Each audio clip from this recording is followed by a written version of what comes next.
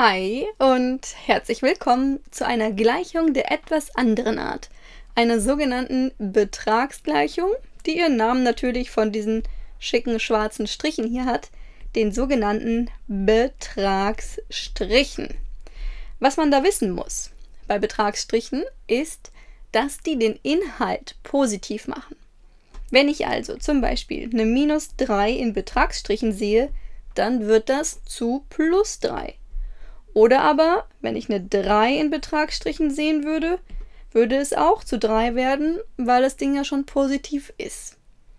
Das bedeutet also, ganz allgemein kann ich sagen, dass ein x im Betrag zu x wird, wenn x sowieso schon größer oder eben gleich 0 ist und dass ich das Vorzeichen davon umkehren muss, dass also minus x daraus kommt, wenn mein x kleiner als 0 ist.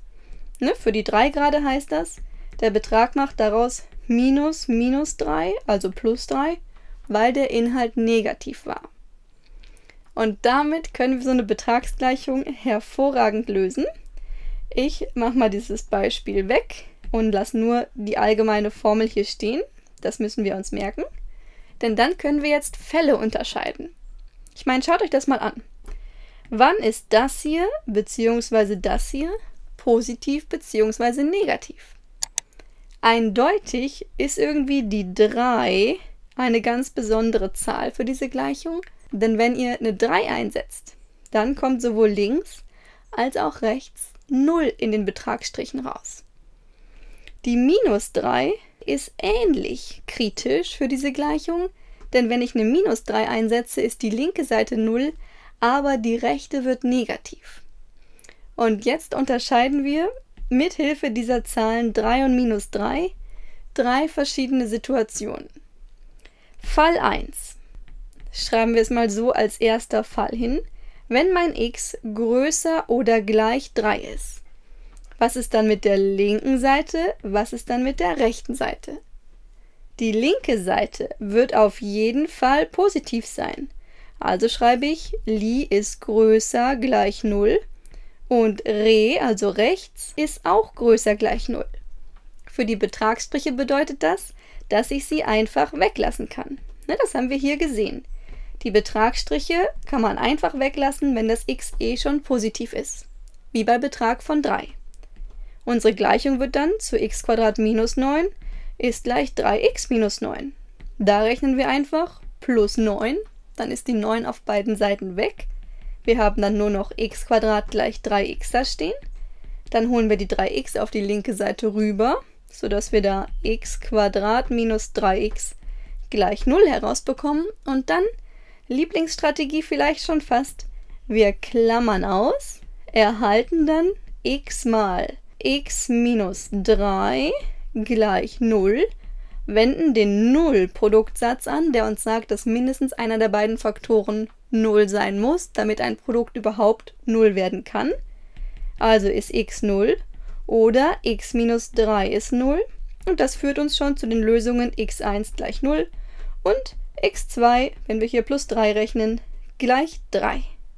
Diese beiden Lösungen behalten wir im Hinterkopf, ist das Ergebnis vom ersten Fall, wenn unser x größer oder gleich 3 sein sollte. Was passiert aber, wenn unser x, und das ist der zweite Fall, nicht größer gleich 3 ist, sondern kleiner als 3, aber immer noch größer als minus 3? Naja, dann müssen wir wieder überlegen, was mit der linken und was mit der rechten Seite ist. Wenn unser x also kleiner als 3 und größer als minus 3 ist, dann ist auf jeden Fall die rechte Seite, dieser Teil hier, negativ. Denn 3x ist dann kleiner als 9 und dann kann es das nicht ausgleichen, sodass es mit minus 9 auf jeden Fall ins Negative gezogen wird. Die linke Seite ist aber für x zwischen 3 und minus 3 auf jeden Fall auch negativ. Denn dann wird das Quadrat kleiner als 9 sein und dann wird das Ganze auch ins Negative gerissen. Wir müssen also nach unserer Strategie hier, nach unserer Definition, wenn beide Teile negativ sind, den unteren Weg wählen und sagen, okay, dann ist der Betrag, das Negative vom Inhalt. Erinnert euch an Betrag von minus 3. Das war dann ja minus die minus 3, ne? also plus 3. Ich muss also im zweiten Fall beide Seiten nehmen und ihnen jeweils ein Minus davor verpassen, denn sowohl die linke Seite ist negativ als auch die rechte Seite. Das heißt, ich habe dann also die linke Seite in der Klammer stehen mit einem Minus davor, die rechte Seite auch, 3x minus 9 war das. Dann rechne ich mal minus 1 und ihr seht schon, das führt mich zur genau gleichen Situation wie im ersten Fall. Also, siehe erster Fall können wir schreiben, die gleichen Lösungen kommen hier heraus. Und dann könnt ihr euch denken, bleibt ja nur noch der dritte Fall. Und der tritt ein, wenn unser x tatsächlich kleiner oder gleich minus 3 ist. Was passiert nämlich dann auf unseren beiden Seiten? Wenn unser x kleiner oder gleich minus 3 ist, dann wird dieser Teil hier positiv, aber dieser Teil hier mit einer minus 3 oder kleiner eingesetzt wird negativ. Also müssen wir der Betragsgleichung auf der rechten Seite ein Minus verpassen, auf der linken die Betragsstriche einfach weglassen. Wir kommen also mit linker Seite größer 0, rechter Seite kleiner 0 zu x minus 9 gleich minus 3x minus 9. Der vielleicht schwierigste Fall. Wir müssen erstmal die Minusklammer auflösen. Minus 3x plus 9 haben wir dann.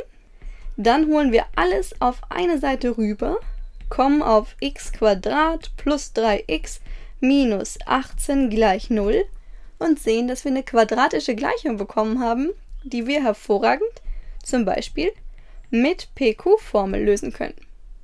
x1 und x2 haben wir schon, also startet die jetzt mit x3, 4 minus p halbe, also minus 3 halbe, sagt die PQ-Formel, plus minus Wurzel aus, p halbe zum Quadrat minus q, also so sieht's aus. Das heißt, da wird es jetzt ein bisschen schwieriger im Kopf. Wir haben minus 1,5 plus minus Wurzel aus. 3 halbe ist ja 1,5. Das muss quadriert werden und plus 18 gerechnet werden. Man muss also wissen, was 1,5 Quadrat ist, also was 3 halbe quadriert ergibt. Und das ist tatsächlich ziemlich schön. Das ist nämlich 2,25. Und 2,25 plus 18, das macht 20,25. Und da freue ich mich immer, wenn ich das sehe, denn das ist eine wunderbare Quadratzahl. Vielleicht kennt ihr sie auch auswendig. Das ist die Quadratzahl zur 4,5. Also steht hier minus 1,5 plus minus 4,5 und dann bekommen wir als erstes x, wenn wir meinetwegen minus rechnen, minus 1,5 minus 4,5 minus 6 raus.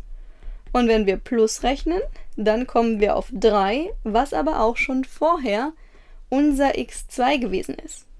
Wir bekommen also insgesamt aus allen drei Fällen drei Lösungen und zwar die minus 6 und x1 und x2 waren 0 und 3. Die schnappen wir uns hier oben auch noch kurz.